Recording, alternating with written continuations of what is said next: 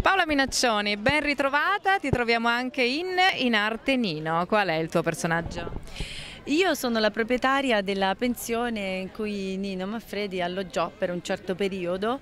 Eh, in realtà non sono da sola, siamo due sorelle, siamo insomma, particolari perché sono due donne che gestiscono una, una, piccola attività che per il tempo era sicuramente una cosa desueta.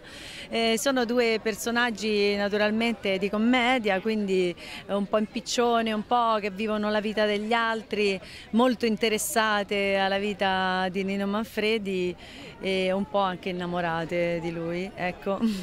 Tu invece eh, sei o sei stata molto interessata ai film di Nino Manfredi, li hai visti e chi è Manfredi per te?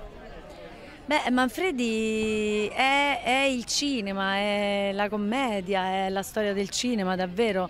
È stato uno dei più grandi attori italiani, ha saputo spaziare con una leggerezza ed un'eleganza no? da un genere all'altro, sempre andando fino in fondo in tutto quello che ha fatto. Ma la cosa che mi colpisce di più è come lui abbia saputo raggiungere queste vette di perfezione, di, eh, sempre con la leggerezza.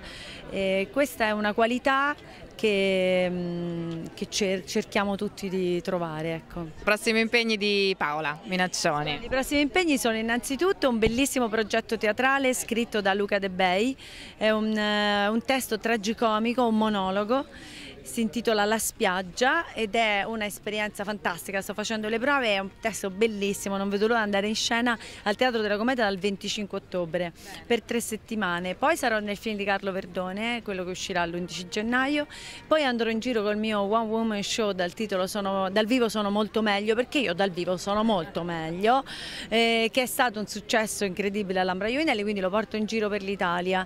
E poi c'è la radio, il ruggito del coniglio, sono sempre così così giocando con i miei due amici Marco Presta e Antonello Dose.